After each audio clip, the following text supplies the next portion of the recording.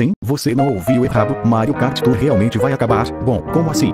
Bom, recentemente teve uma notícia de que o Mario Kart Tour não vai mais receber mais novos conteúdos. Mano, isso é muito triste, pois eu gostava muito de quando o Mario Kart Tour ganhava novas atualizações, mas calma, o jogo não vai ser removido da Play Store ou algo assim. Mas infelizmente é que o jogo não vai ter mais novos conteúdos. Mano, isso é muito triste, já não foi a despedida do Charles Martinet agora isso.